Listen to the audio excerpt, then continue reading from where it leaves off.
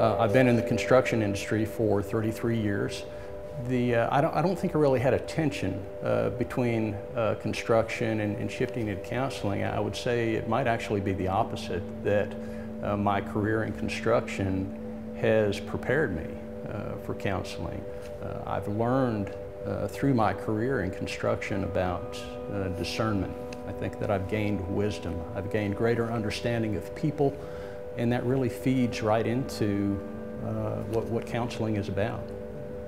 And so it was about five years ago that I started uh, thinking about what God had in store for me. This idea of helping men, uh, counseling men, kept on uh, coming back to me. But the more I prayed about it, uh, the more it became clear that uh, this is where God was leading me. And if I was truly going to uh, follow the calling, then I needed to commit myself to it. Yeah, the, the initial need that I saw, what I witnessed on these Emmaus weekends as a table leader, is that there were men coming into those weekends looking for something. I heard the struggle, I heard the pain, uh, I, saw, I saw men break down. Um, and it was not until I was in my 40s that I, I went on the, the walk to Emmaus and uh, really started to understand uh, grace and forgiveness.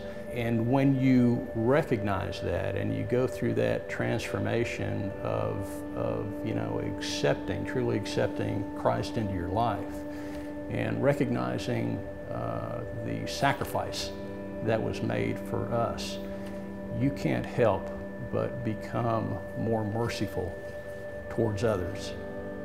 You know, when you're, when you're following your spiritual gift, uh, you need to be prepared to be uncomfortable because God is not always going to just lead us into a comfort zone. Uh, he led me out of a comfort zone uh, to be in His service.